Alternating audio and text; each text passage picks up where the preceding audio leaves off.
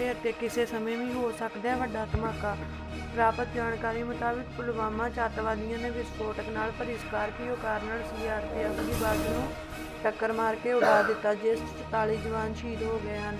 ਦਰਜਨਾਂ ਜ਼ਖਮੀ ਹੋਏ, ਜੋ ਹੁਣ ਤੱਕ ਦਾ ਸਭ ਤੋਂ ਵੱਡਾ ਅੱਤਵਾਦੀ ਹਮਲਾ ਹੈ। ਹਮਲੇ ਨੇ ਜਿੱਥੇ ਪੂਰੇ ਪ੍ਰਸ਼ਾਸਨ ਨੂੰ ਹਿਲਾ ਕੇ ਰੱਖ ਦਿੱਤਾ ਹੈ, ਇਸ ਦੇ ਬਾਵਜੂਦ ਸੁੱਚੀ ਪਿੰਡ 'ਚ ਜਲਨਸ਼ੀਲ ਪੈਟਰੋਲ, ਡੀਜ਼ਲ ਦੇ ਟੈਂਕਰ ਖੁੱਲ੍ਹੇਆਮ ਸੜਕਾਂ ਤੇ ਖੜੇ ਰਹਿੰਦੇ ਹਨ। ਸ਼ਹਿਰ ਦੀ ਸੁਰੱਖਿਆ ਨੂੰ ਲੈ ਕੇ ਜੋ ਵੱਡਾ ਸਵਾਲ ਬਣੇ ਹੋਏ ਹਨ, ਦੂਜੇ ਪਾਸੇ ਸੁੱਚੀ ਪਿੰਡ 'ਚ ਪੈਟਰੋਲ, ਡੀਜ਼ਲ ਦੀ ਖੁੱਲ੍ਹੇ 'ਚ ਵਿਕਰੀ ਜਾਰੀ ਹੈ। ਖਾਦ ਵਿਭਾਗ ਦੇ ਅਫਸਰ ਵੀ ਕਾਰਵਾਈ ਦੇ ਅਫਸਰ ਵੀ ਕਾਰਵਾਈ ਦੇ ਮੂਡ 'ਚ ਨਹੀਂ ਹਨ। ਉਹਨਾਂ ਨੂੰ ਸ਼ਿਕਾਇਤ ਨਹੀਂ ਮਿਲਦੀ, ਇਸ ਲਈ ਉਹ ਕਾਰਵਾਈ ਵੀ ਨਹੀਂ ਕਰ ਸਕਦੇ।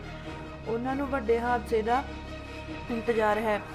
ਸੁੱਚੀ ਪਿੰਡ ਇੰਡੀਅਨ ਆਇਲ ਡਿਪੂ ਦੇ ਕਿਨਾਰੇ ਪੁਲਿਸ ਅਤੇ ਕੁਝ ਨੇਤਾਵਾਂ ਦੀ ਮਦਦ ਨਾਲ ਗੋਰਖ ਧੰਦਾ ਚੱਲ ਰਿਹਾ ਹੈ, ਜਿੱਥੇ ਪੈਟਰੋਲ, ਡੀਜ਼ਲ ਲੈ ਕੇ ਨਿਕਲਣ ਵਾਲੇ ਟੈਂਕਰਾਂ 'ਚੋਂ ਮਾਲ ਚੋਰੀ ਕੀਤਾ ਜਾ ਰਿਹਾ ਹੈ। ਸੜਕ ਕਿਨਾਰੇ ਬਣੇ ਢਾਬਿਆਂ ਤੇ ਟਿੱਪਰਾਂ ਦੇ ਪਿੱਛੇ ਕਾਲਾ ਕਾਰੋਬਾਰ ਖੁੱਲ੍ਹੇਆਮ ਹੋ ਰਿਹਾ ਹੈ।